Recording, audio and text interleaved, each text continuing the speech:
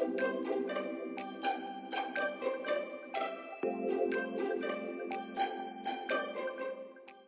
friends, welcome to Diagnox. This is Dr. Farakath. Today, I will discuss how to choose analgesics in dentistry. Analgesics are the most commonly used drug in dentistry and it's very important that we choose them correctly. The most common reason for a patient to visit a dental office is pain.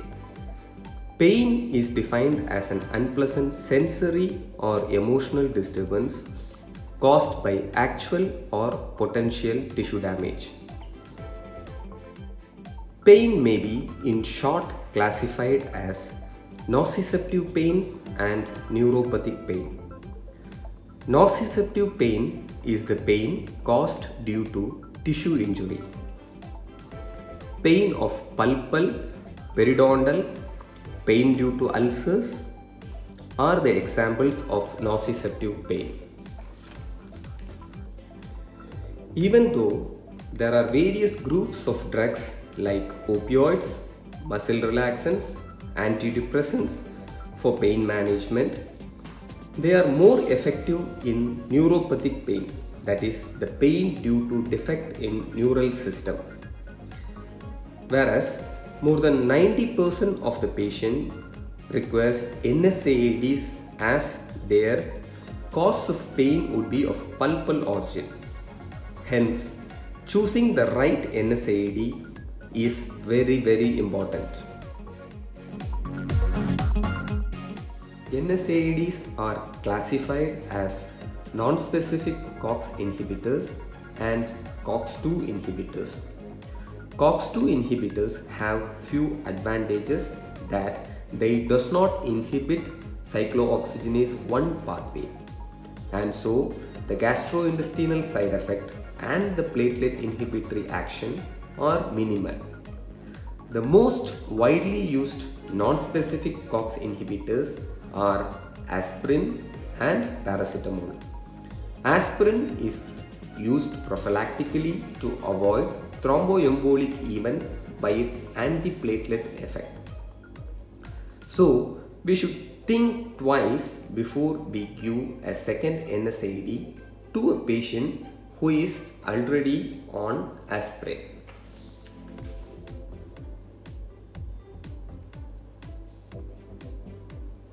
Paracetamol is considered as the safest NSAIDs. It can be given to a pregnant patient. In my last 10 years of practice, I have come across only one patient who was allergic to paracetamol. In fact, she was allergic to all NSAIDs. The most commonly used NSAIDs by me are aceclofenac, Brufen and piroxicam. The only reason why I use them is not that the other NSAIDs are ineffective. The reason is I do not want to experiment with unknown drugs as I am more familiar with these three drugs for the past 10 years. The known devil is better than the unknown angel. These are few popular brands of NSAIDs. I request the younger dental surgeon to go for a reputed brand whenever you prescribe analgesics in order to avail better bioavailability. During my initial days of practice, I was a big fan of piroxicam because it had few advantages like convenient dosing, you just have to give it twice a day. It was available in dispersible tablets, gastric friendly, etc.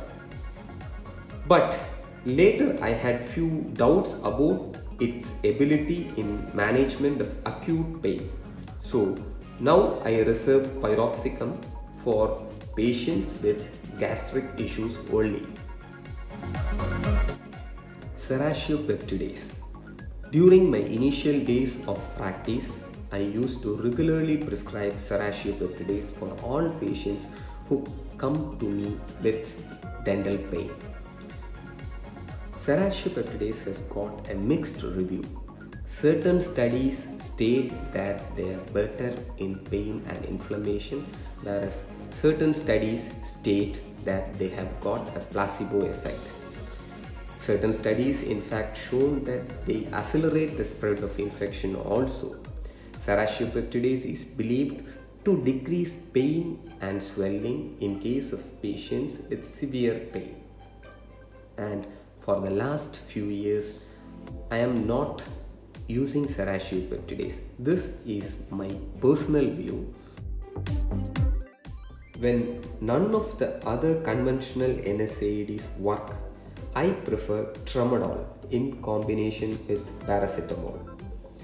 Patient gets good sleep and I avoid it during daytime because of the drowsiness and I advise it only when the patient does not get pain relief to the conventional NSAIDs.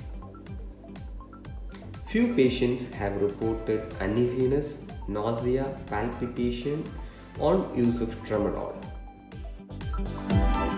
I will not use injection diclofenac in my clinical setup because I have heard lots of horror stories about diclofenac injection and development of anaphylaxis. Anaphylaxis is a type 1 hypersensitivity reaction in which there is a possibility that a patient may die within seconds to minutes due to bronchospasm. My greatest fears after prescribing analgesics are anaphylaxis, Steven Johnson syndrome, and severe gastritis.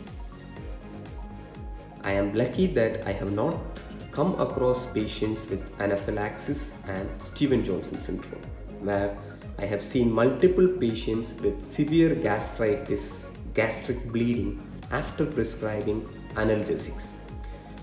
So what usually happens in dental setup is that patients with severe dental pain, those patients will not be consuming food for few days because of pain. And once they visit a dental surgeon and get the analgesics, they immediately go home and consume the analgesics in empty stomach.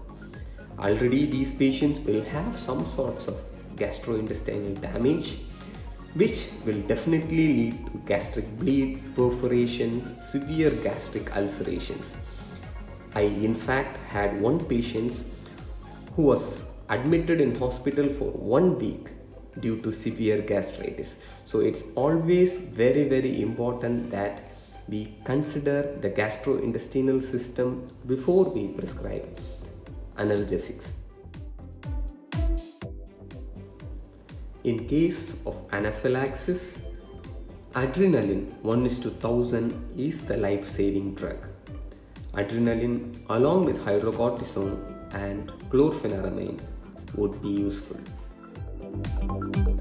These types of skin rashes are the most commonly seen allergic reactions in my dental office and the most important cause is a tablet diclofenac and injection of diclofenac to these patients would be lethal and it's always wise to do an allergic drug testing for these kinds of patients so that we know that to which drug these patients are allergic to and we can prescribe the safest analgesics. I would think thrice before giving NSAIDs to renal failure patients, hepatic failure patients, patients with gastric issues and very very weak patients. So I would like to conclude this presentation by stating that all analgesics are harmful so we should limit its dose. Paracetamol is the safest analgesics and combination of paracetamol with other NSAIDs is good for severe dental pain. We get a good synergistic effect. It's better to consult a physician before prescribing NSAIDs to hepatic renal failure, severe asthma, severe gastritis and pregnant patients. Meet you all again with another interesting video. Thank you.